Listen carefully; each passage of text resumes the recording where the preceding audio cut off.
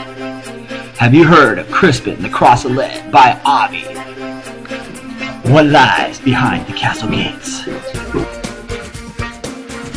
In the late 1300s, Crispin is a wanted man, but he is only 13. After his mother dies, he is given a cross of lead. He meets Bear, a juggler who teaches him how to play music. Read it now, Crispin, the Cross of Lead.